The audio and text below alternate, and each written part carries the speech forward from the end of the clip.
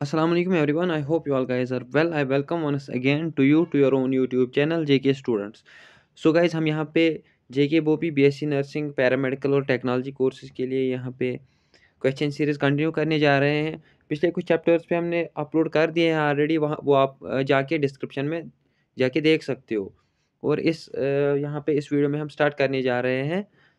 Human physiology के expected questions जिससे ten plus questions आते हैं, J K BOPEE exams में या नीट में भी आते हैं, काफ़ी सारे क्वेश्चंस इसमें। और ten plus questions human physiology से आते हैं फ्रॉम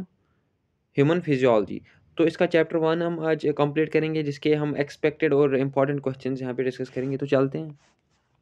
यहाँ पे क्वेश्चंस पे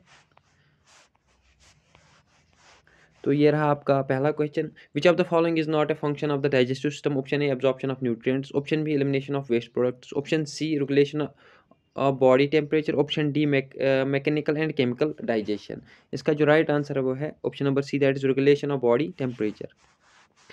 next question आप, आपके सामने ये रहा. The process by which food is broken down into smaller molecules through the action of enzymes is called option A, absorption, option B, digestion, option C, assimilation, option D, peristalsis. इसका जो right answer है that's option B that is digestion next question which of the following organ is responsible for the production of bile option A stomach option B liver option C pancreas option D gallbladder इसका जो right answer है, वो option option C sorry option B है that is liver next question पे चलते हैं. The small finger-like projections in the small intestine that increase its surface area for absorption are called option A villi, option B microvilli, option C rug and option D Peyer's patch. इसका जो right answer है that is option A that is villi. Next question.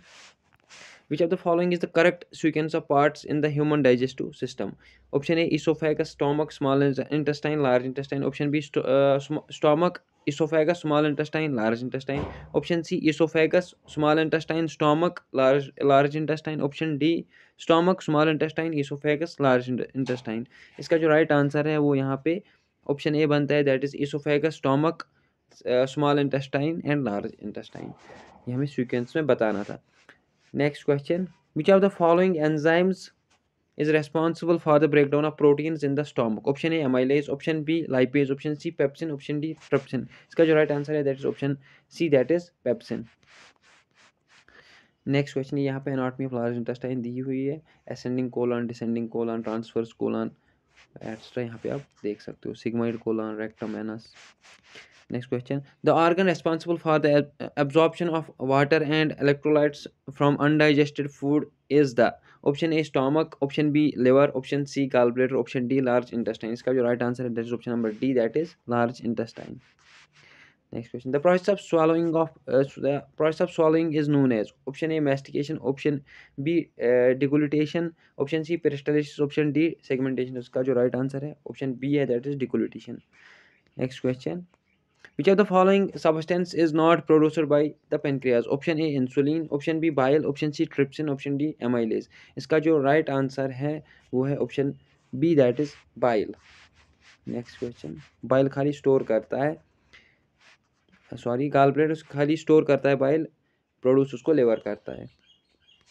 और concentrate करता है उसे gallbladder. The ring of muscle that controls the flow of food between the esophagus and the stomach is called the option A sphincter of OD, option B pyloric sphincter, option C cardiac sphincter, option D ileocecal valve. इसका जो right answer that is option C that is cardiac sphincter.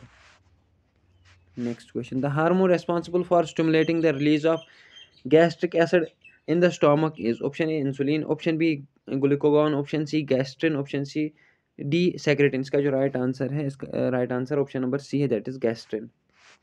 next question which of the following is is a function of large intestine option A production of digestive enzymes option B absorption of nutrients option C storage and elimination of faeces option D secretion of bile इसका जो right answer है option number C है that is storage of storage and elimination of faeces next question the structure that prevents food from entering the trachea during swallowing is the option A, epiglottis, option B, vulva, option, sorry, option A epiglottis, option B, uvula, option C, tonsils, option D, vocal cords. इसका जो right answer है that option A that is epiglottis next question the enzyme responsible for the breakdown of carbohydrates into simple sugar is option A pepsin option B lipase option C amylase option D trypsin इसका जो right answer है option C है that is amylase next question Which of the following is not a part of the small intestine option a duodenum option b jejunum option c ileum option d cecum इसका जो right answer है option d है that is cecum that is the part of large intestine next question the condition characterized by inflammation of the liver often caused by viral infections or excessive alcohol consumption is called option a hepatitis option b cirrhosis option c gastritis option d appendicitis इसका जो right answer है that is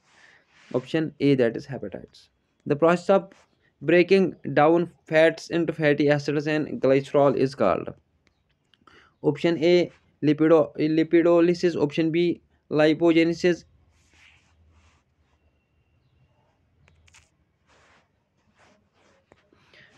यहाँ पे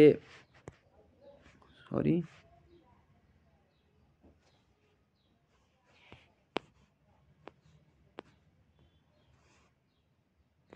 यहाँ पे ये question दोबारा से हम डिस्कस करेंगे। The process of breaking down of fats into fatty acids and glycerol is option A lipo lipidolysis option B lipogenesis option C lipolysis and option D lipogenesis इसका जो राइट आंसर है lipolysis lipolysis is the process of breaking down fats into fatty acids next question the structure that stores bile produced by the liver is called the the storage, the structure that stores bile produced by the liver is the option A pancreas option B gallbladder option C spleen option D appendix का जो right answer है that is gall bladder store करता है और concentrate करता है इसे। Which of the following is the is not a function of saliva option A moisturising and lubricating food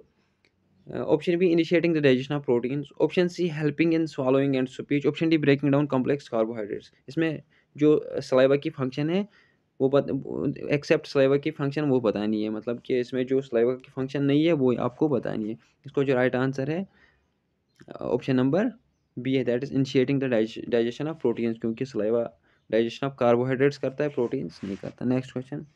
the process by which nutrients pass from the small intestine to the blood stream is called option A absorption option B filtration option C secretion option D reabsorption इसका जो right answer है option number A that is absorption absorption एक process है। जिससे nutrient pass होते हैं from small intestine to the blood stream. So ये था, ये थे इंपॉर्टेंट कुछ क्वेश्चन यहाँ पे part one from human physiology chapter chapter number digestive system यहाँ पे chapter number one digestive system I hope आपको ये इन्फॉर्मेशन लगी होगी, इससे आपका जो स्कोर है वो ज़रूर बूस्ट होगा और इससे एक ना एक क्वेश्चन ज़रूर आपके एग्ज़ाम में देखा जाएगा। चल, मिलते हैं किसी और वीडियो में। चैप्टर नंबर सेकंड को लेकर रेस्पिरेटरी सिस्टम पे हम नेक्स्ट बात करेंगे ह्यूमन फिजोलॉजी में। तो तब तक आप चैनल को सब्सक्राइब करके रखिए और अगर आप इस, आपको इसका पीडीएफ चाहिए हो, आप टेलीग्राम में जाके वहाँ पे डाउनलोड कर सकते हो। टेलीग्राम का लिंक आपको डिस्क्रिप्शन में मिल जाएगा। Thank you for watching this video